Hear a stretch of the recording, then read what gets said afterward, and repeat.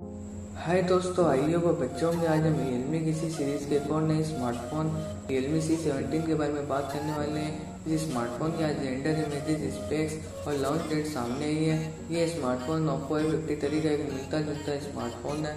इस स्मार्टफ़ोन के full specs और इंडिया में इसकी प्राइस क्या होगी और ये कब तक लॉन्च होगा, ये सब जानने के लिए इस वीडियो को अंत तक देखते रहिए। सबसे पहले रियलमी सी सेवनटीन के लुक और डिज़ाइन के बारे में बात करते हैं। इस स्मार्टफ़ोन का कैमरा सेटअप बिल्कुल रियलमी सेवन की तरह देखने को मिल जाता है और स्मार्टफ़ोन में बैक साइड पोलिकार्बन यानी प्लास्टिक की बॉडी देखने को मिलेगी और इस स्मार्टफ़ोन में प्रोटेक्शन के लिए कौन बोला ग्लास का भी प्रोटेक्शन देखने को मिल जाएगा। डिस्प्ले के अंदर 6.5 inch H D plus IPS H panel देखने को मिलेगा। डिस्प्ले 90 एच रिप्लेस सेट तक को सपोर्ट करेगा।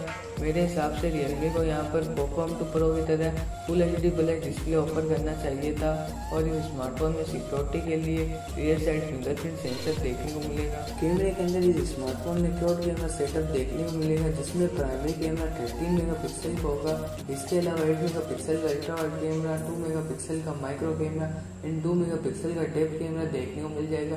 और फ्रंट सेल्फी के अंदर साइड कट आउट पंच और डिज़ाइन के अंदर एट मेगा पिक्सल का प्राइमरी कैमरा देखने को मिलेगा। परफॉर्मेंस की बात करें तो स्मार्टफ़ोन में क्योलकॉम स्नैपड्रैगन 460 प्रोसेसर देखने को मिलेगा और ये smartphone out of the box Android ten के साथ आएगा। बैटरी में आपको पाँच हज़ार एम एच की बड़ी बैटरी देखने को मिलेगी इस बड़ी बैटरी को फास्ट चार्ज करने के लिए रियलमी यहाँ पर अठारह वाट का फास्ट चार्जिंग सपोर्ट भी ऑफ़र करेगी। रियलमी सी सेवेंटीन में आपको best variant six G B RAM one twenty eight storage वाला देखने को मिलेगा और स्मार्टफ़ोन में दो कलर ऑप्शन भी देखने को मिल जाएँगे नेवी ब्लू ब्लैक ग्रीन और ये स्मार्टफ़ोन की प्राइस लगभग मेरे हिसाब से दस से बारह हज़ार रुपये के बीच होनी चाहिए।